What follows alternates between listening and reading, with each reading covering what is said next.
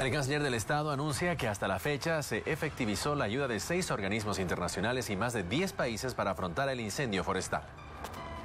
El jefe de la diplomacia detalla los organismos internacionales que cristalizaron la cooperación para afrontar el incendio forestal en los 16 municipios de la Chiquitania.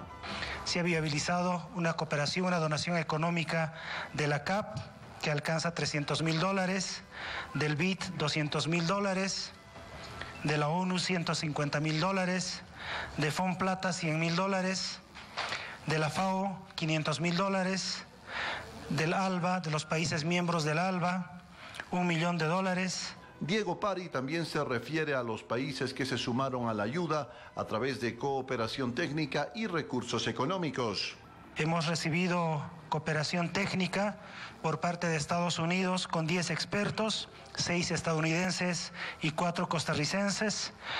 Francia está ofreciendo horas de vuelo para 5 helicópteros que se incorporarán al trabajo hasta el fin de semana. Inglaterra ha enviado dos expertos que ya se encuentran trabajando en la región de la Chiquitanía boliviana. Ya se encuentran personal técnico de Suiza y Canadá. Finalmente, el jefe de la diplomacia señala que continúan las tareas de coordinación con otros países para efectivizar la ayuda internacional.